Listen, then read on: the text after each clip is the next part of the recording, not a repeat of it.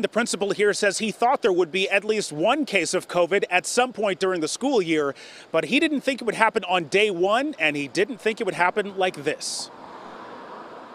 This one was an egregious violation of the rules. The mayor of Attleboro not mincing words over the fact that a family sent their child to Attleboro High Monday, the first day of school, despite knowing the teenager had tested positive for COVID 19. We have a daily health checklist that we ask everybody to adhere to.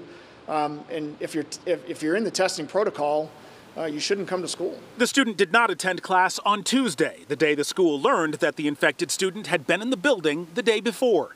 School and city leaders say there was nothing they could have done to prevent this. They say not only did the family fail, so did the reporting system that should have warned Attleboro of the positive test result. Typically, we're able to know within 24 hours if somebody is tested COVID positive because it gets reported to the State Department of Public Health. We use the state Maven system. Uh, for some strange reason, this one got through. Though there was an apparent delay with the reporting system, the contact tracing protocols worked, quickly identifying 30 students who were in close contact and are now in quarantine. If what they say will keep the virus from spreading is, is accurate and what we put in place is accurate, we'll see you know, that this hasn't spread to the other kids. And if that's the case, I think, you know, hopefully families and, and staff members can feel, you know, even safer.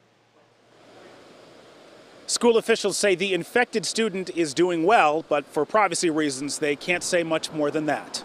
Reporting live in Attleboro, Todd Kazakiewich, WCVB News Center 5.